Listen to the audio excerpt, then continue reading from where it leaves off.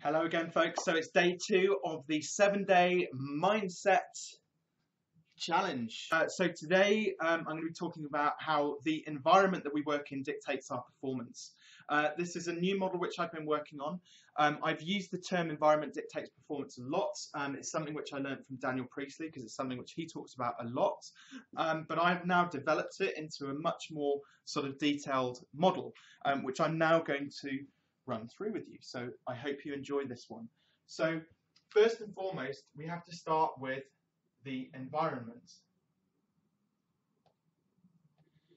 Now, this environment basically where we work is ultimately going to dictate what our performance looks like. So I'm going to come on to that in a second. So in terms of the environment um, dictating the performance, so how when we set out to do a piece of work, um, how we start doing that piece of work is actually really, really important. I don't know why it's just got really, really dark in here. I kind of look, feel like I look a little bit sinister on the video, but never mind. So uh, where we do our work is actually really, really important. And I'm going to try and explain to you why that is and how, how much of an impact the place where we work um, can have on our overall performance. And it's a little bit like the butterfly effect.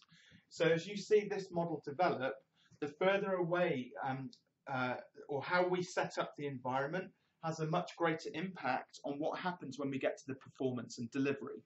Um, and so basically, the environment is about two different things. So, and, and it's always varying degrees. There's a contrast here. So the first um, environment that you could work in is noisy. So there's just a lot of distraction. I mean, why do you think I, I don't need an office necessarily as a business coach? I do a lot of my coaching sessions at nice hotels and various places like that. Um, however, I'm just going to turn my lights up because it's just getting a bit dark in here. One second. There we go. See, set a better environment, so I'm a bit better lit now anyway. So um, we can have a noisy place. So I have an office. Um, I don't necessarily need it to do my job, but what it means is I have the separation from home. Um, I have a little sanctuary which I can come come to whenever I want, pick up a book and read, or do some video filming and things like that. Um, you can also have a focused environment, which is where I'm, where which is what I've created here. A noisy environment, for example, if you need to heavily um, concentrate on something, you don't really want to have your kids and dogs running around, the wife, husband interrupting you every five minutes. Um, you don't want to be in a noisy cafe where there's people coming and going and too many distractions and things like that. If you've got to do something and get it done, like JFDI in sort of, I don't know, 60 minutes or 90 minutes or something like that, you need to find a quiet, focused space which is going to create the best possible performance or output for the work which you do. What happens with the environment is it creates conditions. So these conditions can either be negative or positive. So what we don't do is we tend not to react to our environment. We actually react to the conditions um, that the environment creates. So if we're, um, I don't know, imagine imagine when you're driving, like being in the car could be noisy. Um, it could be a place where you focus. But being in the car means that there are other people around you, and then all of a sudden somebody cuts you up, and you just lose the plot. Um, so it can create negative um, conditions for you. Equally, it can create very positive um, conditions because, um, let's say, for example, you go to a networking meeting and you had this piece of work to do, and you you you had a um, a, a, a positive chat with somebody at a networking meeting. It's naturally going to um, create a condition for you moving forward whereby you're filled with positivity and you don't need to react, but you can be more proactive. So the next part is around reactions. So the environment creates these conditions that we then have a, a choice about how we react to it. So the choices around our reactions are either to be reactive or proactive. So reactive would be, oh, what an arsehole, beat his horn at me. Like, why did he beep his horn at me? And then that's all we get stuck in. Proactive would be, um, what can I do to avoid that situation in the future? You know, maybe I was driving too close, too close to that a car um, um, in front of us, or you know, why did he why did he cut me up? So what it does is um, being proactive is about taking responsibility for the conditions that the environment has created. Being reactive is blaming it on somebody else.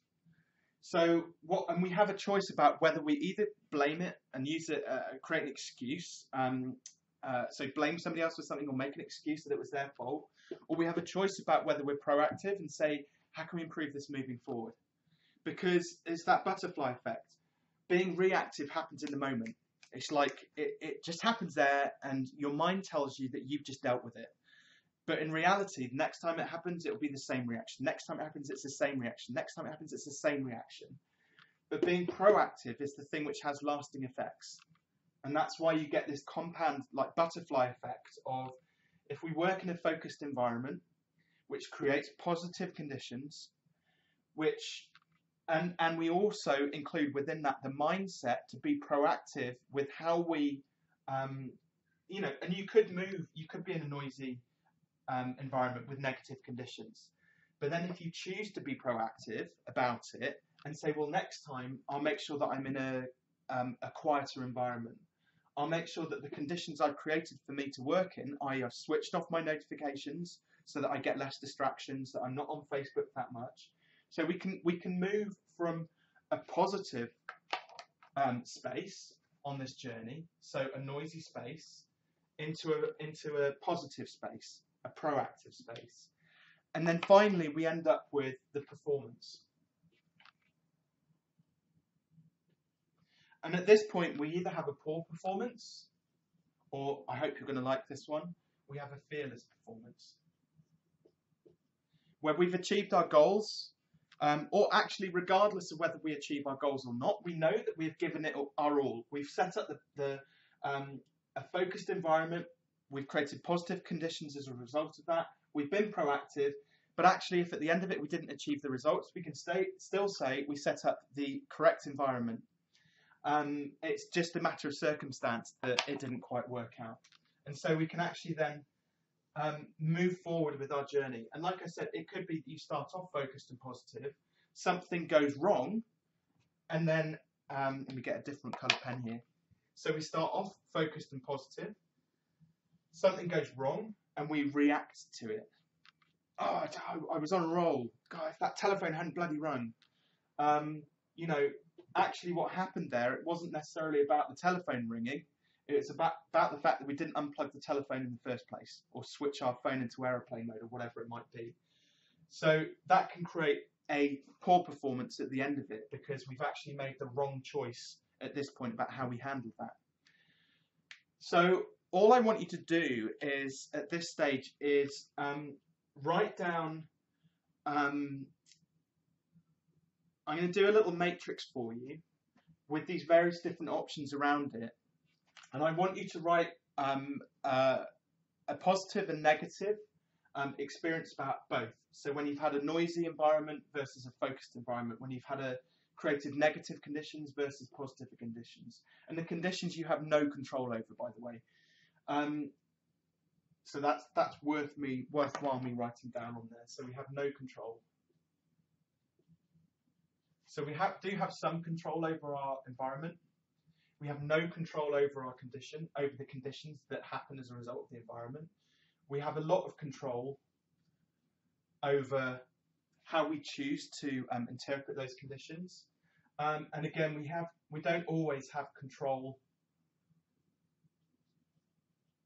over the performance. So we can do our best, but it may be a good performance, it may be a bad performance. It doesn't but the key thing is we don't beat ourselves up over it. So all I want you to do basically is to, um, uh, in the matrix, just put good experience, bad experience, good experience, bad experience, reactive, proactive, poor, poor performance, and where you performed your best. Um, and then we will share that, uh, uh, as always, in the Facebook group, uh, Fearless Facebook group. And if you've got any questions about this, obviously um, leave those in the comments box as well. And um, I am hopefully going to hear some really positive stories about how you had some fearless outcomes um, as a result of the environment, the conditions, and the choices which you made um, in terms of doing something. Uh, catch you later for day three.